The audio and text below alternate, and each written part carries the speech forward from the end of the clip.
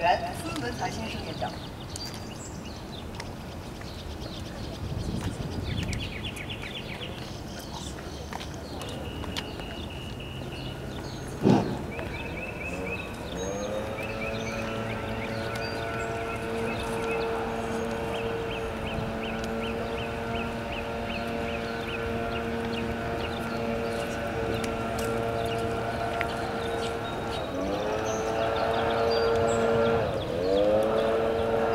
大家好，今天我们中国民主党的党员在中国驻美国的大使馆前，抗议中国共产党的军队和武装警察在北京天安门广场大肆屠杀要求民主革命的学生和民众，以致来纪念1989年6月4日。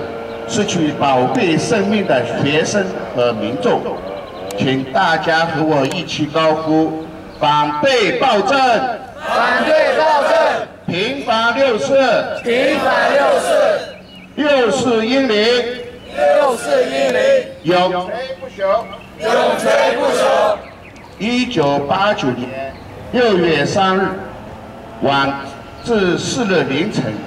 为了镇压要求民主革命的学生和民众，中国共产党动用了军队和武装警察，使用坦克车、装甲车碾压学生和民众们的躯体，用机关枪扫射学生和民众的胸膛，用刺刀捅向学生和民众的腹腔。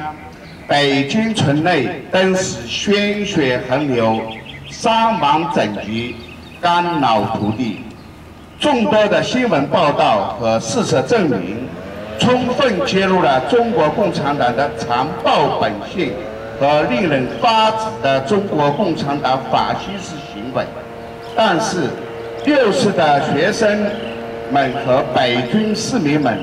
并没有被淫威所吓倒和吓退，他们仍然在用他们的手背和躯体阻挡着坦克车和装甲车的前进，用胸膛顶住了军警的刺刀，手中并无寸铁，胸平凛然正气，心念毫不畏死，奈何与死俱之。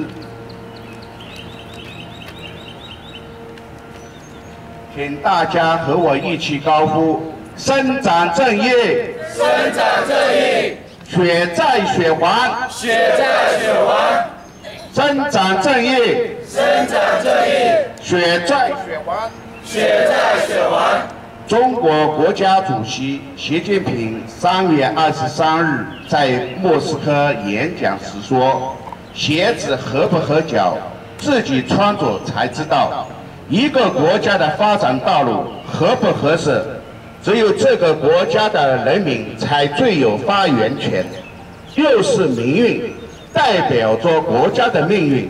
我们中国民主党是中国人民的一部分。中国民主党应该对中国的民主改革和民主革命有发言权。